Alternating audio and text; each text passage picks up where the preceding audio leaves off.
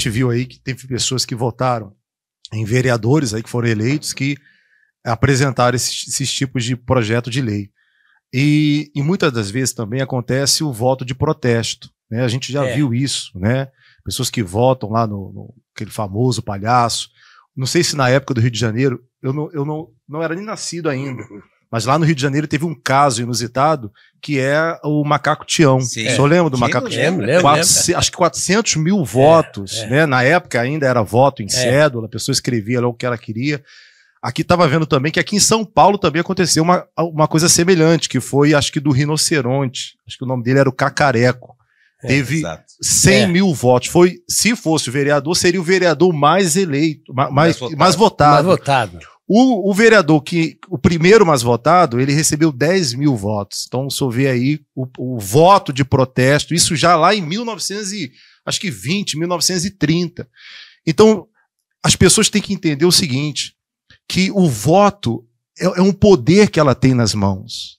Enquanto as pessoas continuarem votando em rinoceronte, no macaco Tião, no ou palhaço. Em, no palhaço, ou em tantas outras pessoas que a gente vê é, esse ano vai ter novamente, bispo. Sempre no, no, no, quando acaba as eleições, pegam aqueles, aquelas propagandas engraçadas. Esse ano certamente, certamente vai ter de novo.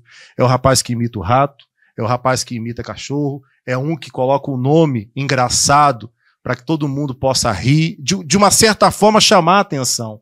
E infelizmente, enquanto as pessoas não entenderem a importância, o valor, o poder que ela tem nas mãos, ela vai continuar jogando voto e, fora. Desculpa, você está acompanhando a programação, por favor.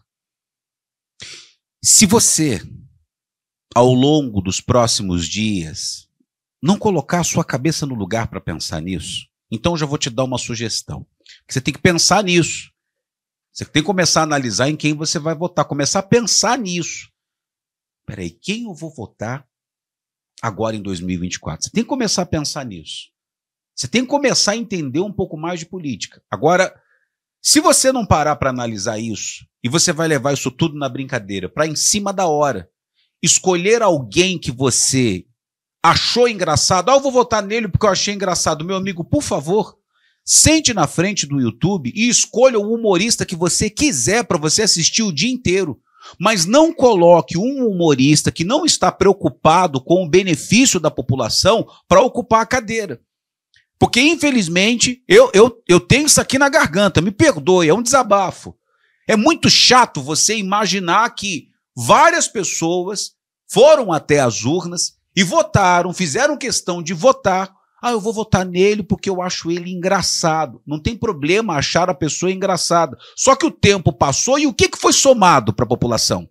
Qual foi o resultado positivo que o humorista gerou? Eu já vi caso de humorista entrar, mas ali ele sabia que ali não era o lugar de humor. Ali ele tinha vidas na responsabilidade dele, ele tinha que trabalhar em prol do povo. Eu já vi casos assim, acontece. Só que a maioria não. Adotam a postura do homem engraçado e quando vão para dentro do mandato, continuam com a postura de homem engraçado. O Brasil, as cidades do nosso Brasil, os municípios não precisam de engraçadinhos, precisam de homens sérios. Então, por favor, se você quer trazer, é, é, ah, não, eu vou eleger fulano porque ele é engraçado. Abra o YouTube e assista piadas o dia inteiro. Mas quando você for para a urna, ali não é lugar de brincadeira, ali não é lugar de piadinha, não. Ali você está ajudando a decidir o futuro de muitas pessoas.